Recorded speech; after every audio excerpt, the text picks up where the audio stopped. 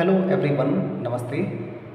आज की इस रीडिंग को आप अपने हस्बैंड वाइफ लवर या बिलविड की ओर से देखें। दोनों में जो डिफरेंस है, आप चाहते हैं रिकन्सिलिएशन हो सके रीयूनियन हो सके। लेट्स सी कि क्या आप उनकी किस्मत में हैं?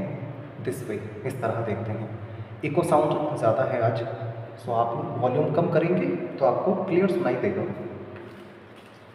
सबसे पहले एंजल से पूछते हैं कि क्या आप उनकी किस्मत में हैं?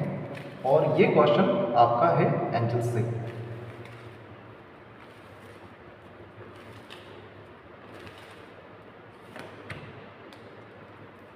Helpful people you are ready take action किस्मत में तो आप हैं, लेकिन इसके लिए आपको कुछ हेल्पफुल पीपल का सपोर्ट लेना पड़ सकता है। अदरवाइज़ कुछ डिफरेंस चल रहा है तो जल्दी ही कुछ हेल्पफुल पीपल आपको मिलेंगे और आप अपने पर्सन की किस्मत में हैं। Now you please concentrate on your partner let see कि क्या सिचुएशंस अभी चल रही हैं एंड कब तक इम्प्रूवमेंट आ सकता है।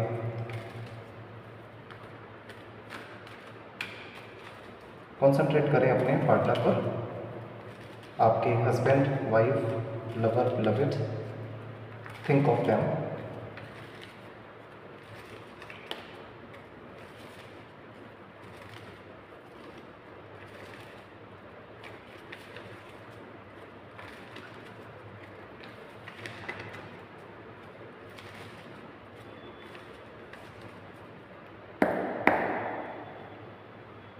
seven of coins है बॉटम ऑफ़ द डेक में.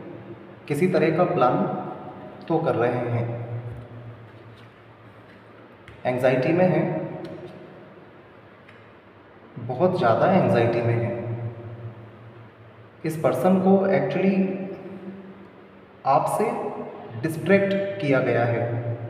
ये पर्सन आपसे बहुत अट्रैक्टेड हैं बट थर्ड पार्टी सिचुएशन की वजह से इस पर्सन को आपसे दूर किया गया है। रिसेंट पास्ट है नाइन ऑफ़ वेंट्स सोसाइटी के कुछ पीपल से ये अब घिर चुके हैं। सो काफ़ी ज़्यादा एंजाइटी है। आपसे जो दूरियाँ हैं, उसके अगेंस्ट कोई एक्शन लेना चाहते हैं। जो भी डिफरेंस आपसे बना हुआ है, उसके अगेंस्ट कोई डिसीज़न लेना चाहते हैं। और जल्दी ही पॉजिटिव एक्शन भी लेंगे। गुड आपके साथ ऑलरेडी मैरिड हैं।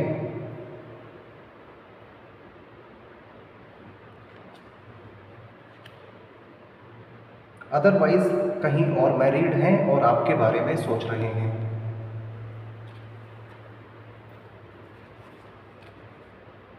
आपके बिना डिसअपॉइंटेड है सैडनेस है, खोना नहीं चाहते हैं आपको। तो इसके लिए जल्द से जल्द कोई एक्शन लेंगे।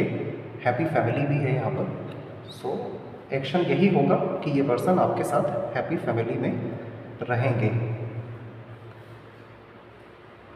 इस पर्सन को इमोशनल ब्लैकमेल डोमिनेट किसी भी तरह से किया गया है और इनका अटेंशन आप पर से हटाया गया है। आपसे जो डिफरेंस है, वो इस पर्सन के माइंड में है। और ये कुछ प्लान भी कर रहे हैं आपको लेकर। प्लानिंग यहाँ पर दिखाई दे रही है ग्लोब है हाथ में। एंड उसी को लेकर के कुछ एक्शन लेना चाहते हैं। एस ऑफ़ सॉर्ट्स है तो पॉजिटिव एक्शन ही दिखाई दे रहा है। बट इसमें इफ़ यू आर मैरिड अगर आप मैरिड हैं तो आपको केयरफुल रहना है। इस पर्सन से आप ऑलरेडी मैरिड हैं। तो आपको केयरफुल रहना है। इफ़ यू आर सिंगल तो फिर ये पर्सन आपसे जुड़ना चाहते हैं। लेट्स क्वालिफाई हाई प्रीस्टेस क्या बताना चाहती हैं?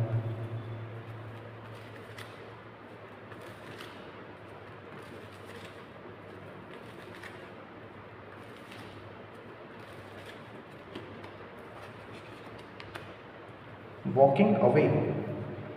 Goddess of the moon. So if you are already married तो थोड़ा केयरफुल आपको रहना है। अगर किसी तरह का एक्शन आपके पर्सन इमीडिएटली लेते हैं। बिकॉज़ ये एक्शन आप दोनों के बीच डिफरेंस को और बढ़ा सकता है। गॉडेस ऑफ़ द मून बताती हैं। यहाँ पर भी द हाई प्रिस्टेस मून को ही एक्सप्रेस करती हैं। पर्सन आपसे मैरिड हैं बट कुछ फीलिंग्स इमोशंस इंटेंशंस अभी छुपे हुए हैं। So you have to be careful और अगर कहीं और मैरिड हैं ये पर्सन तो श्योरली आपकी ओर बढ़ना चाहते हैं।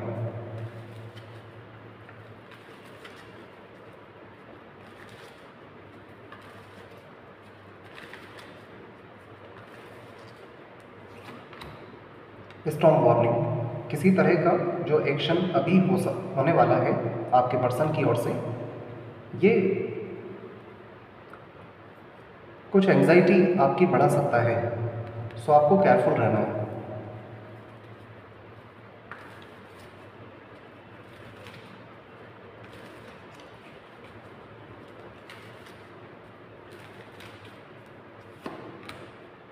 As a final outcome the temple path है। जो कि बता रहा है everything will be fine so immediate future में ही वन वीक से वन मंथ के विद इन अगर आपको लगता है आपके पार्टनर किसी तरह का रॉन्ग डिसीज़न ले रहे हैं तो इसे आप स्मार्टली डील करें प्रे करें। और अगर ये डिसीज़न आपके फेवर में ही है then there is nothing to worry about but यहाँ पर आपकी मैरिटल लाइफ में high priestess as a situation आई हैं तो कुछ कॉन्फ्लिक्ट हो सकता है। Now it depends upon you कि ये जो एक्शन आपके पर्सन का होने वाला है, इससे आप कैसे डील करते हैं। स्मार्टली डील करते हैं तो things will be fine future आपका सेफ़ रहेगा। All right. आपके पर्सन की किस्मत में जो हैं Taurus Virgo Capricorn Cancer Scorpio Pisces Aries Leo Sagittarius sign हो सकते हैं। आपके पर्सन की किस्मत में जो पर्सन है number two one four related हो सकता है उनसे।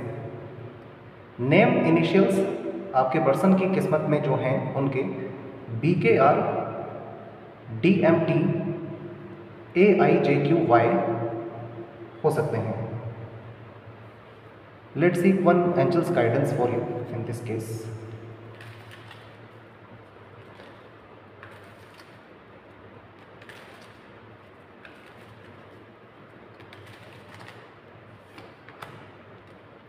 a year from now reconsider perfect timing already अगर लॉन्ग टाइम पीरियड हो चुका है तो आपको विद इन अ मंथ कोई एक्शन आपके पर्सन से मिलेगा वन वीक से वन मंथ के अंदर। So as I told you आप रीडिंग को ध्यान से देखें। इको साउंड की वजह से मैं कम भी बोल रहा हूँ। So thank you so much take care